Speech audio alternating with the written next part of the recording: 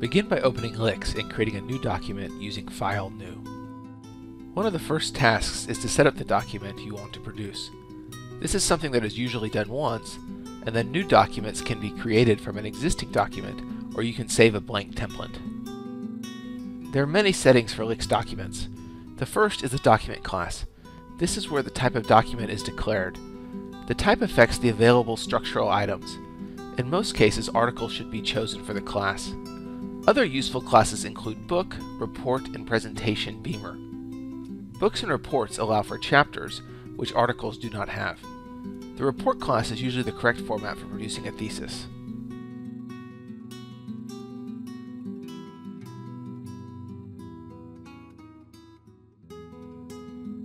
The document class settings pane also allows for custom options to be passed to LaTeX. For now, we can leave these blank. The next tab is the Modules tab. Modules extend core LyX to allow for more features. The most useful for writing technical articles are the Theorems, AMS, and Theorem, AMS Extended, which provide environments for theorems, lemmas, proofs, and algorithms. We will see more about these environments in the lesson on mathematics.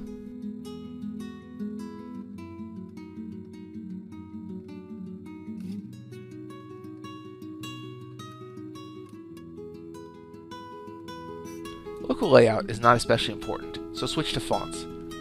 Fonts allows the default font to be set for each font type in LaTeX.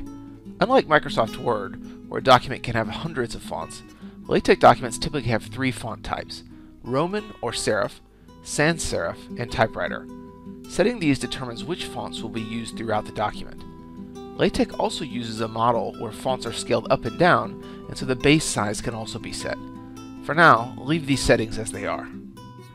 The text layout pane allows for changes in indentation and line spacing. For working papers and drafts, one half is better than the default, so change this setting. The page layout tab allows for more changes. In general, these settings are fine.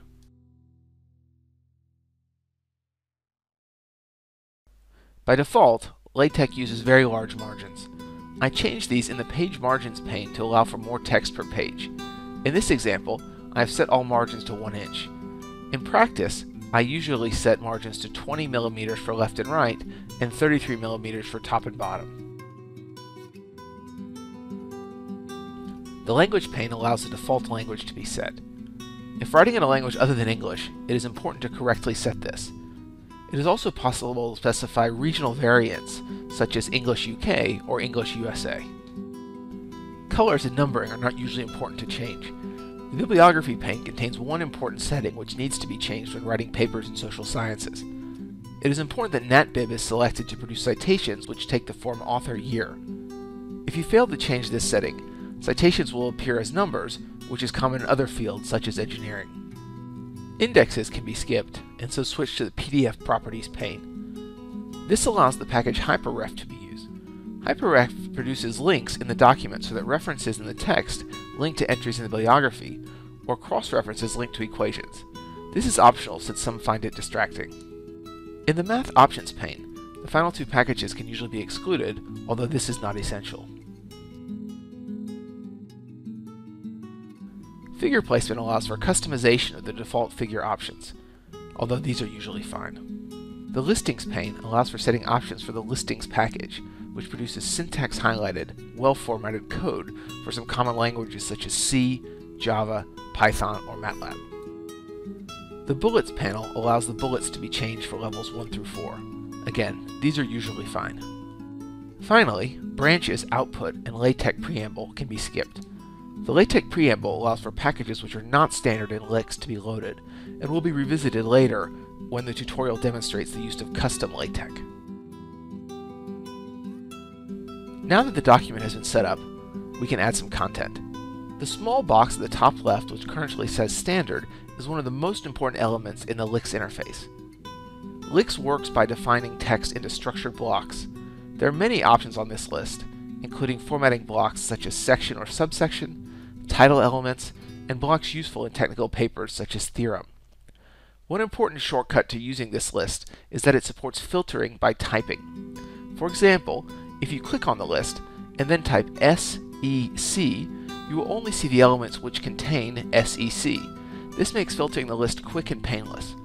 Note that standard is the usual mode for entering unformatted text.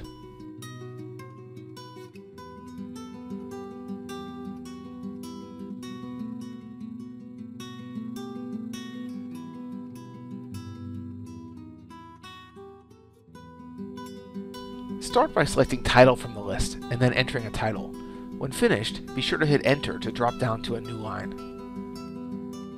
Next, select Author and enter your name.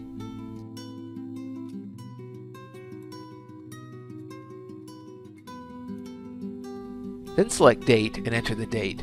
If you want a document which always shows the latest date when it is compiled, you need to hit Ctrl L and then type backslash today. This is a custom LaTeX command which inserts the current date on the computer.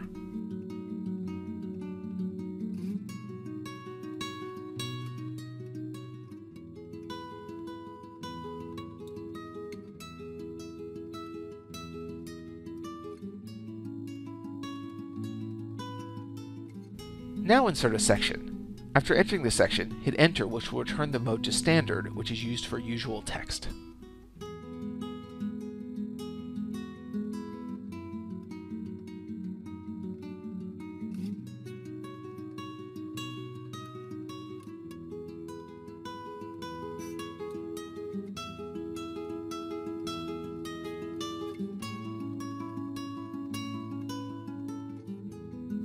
Next create a subsection, and then a sub-subsection in the same manner.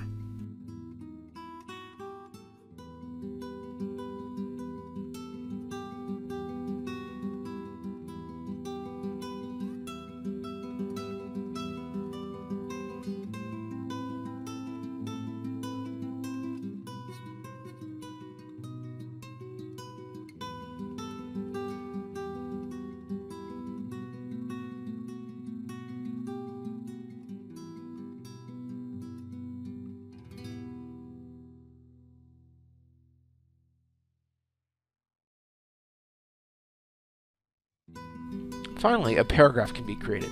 Paragraphs are not usually encountered in academic papers or theses and are not numbered, unlike sections.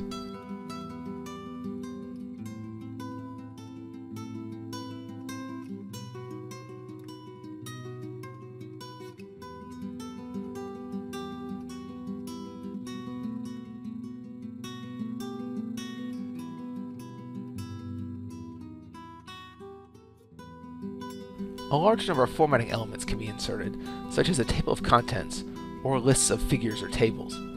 These can be inserted using the menu Insert and then List slash TOC.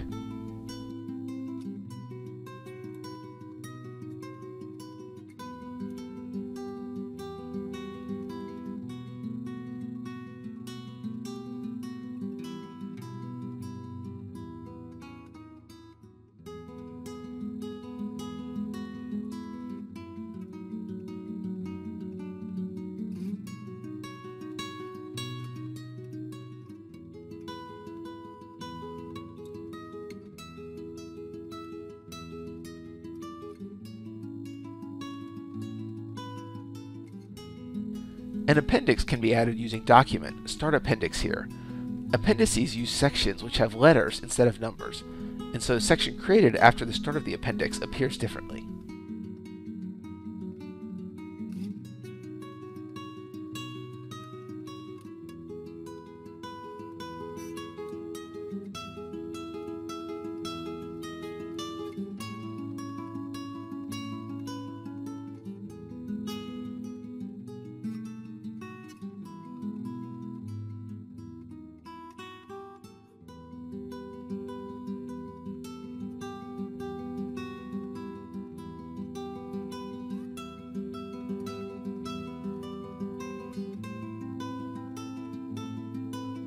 Bibliography can be inserted using insert list TOC. I've provided a bibtex file example.bib. Select this file and set the style to AGSM. Note that bibliographies are important, and so I have a dedicated lesson later in this series.